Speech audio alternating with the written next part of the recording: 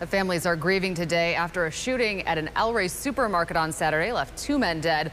The questions remain as that investigation continues. The CBS 58's Victor Jacobo shares what happened and the pain being felt by the families of the two people killed.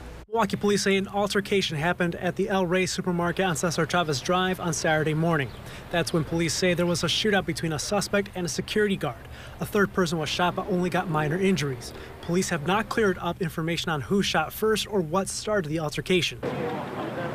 A vigil was held Sunday night for the security guard killed, who was identified as 59-year-old Anthony Nolden. My uncle was a superhero. He was our superhero when we was a kid, and now we grown adults. And still. And he's still our superhero to us. He leaves behind two children, including a daughter whose wedding he attended the day before. This is a heartbreak for our family. That man had two kids.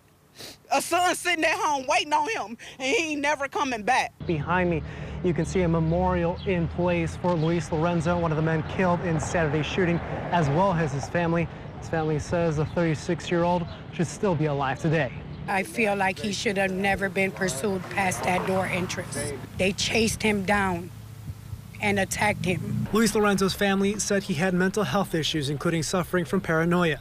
They say Lorenzo was profiled for having a ski mask and a backpack he refused to leave with staff because it had personal items in it. They added Lorenzo was followed in the store, didn't steal anything, and was a victim of aggression by security. The family says aggression by Marshal Public Safety was exemplified when they tried setting up for a memorial on Sunday for Lorenzo, but were told they were trespassing, leading to one of them being tackled and handcuffed.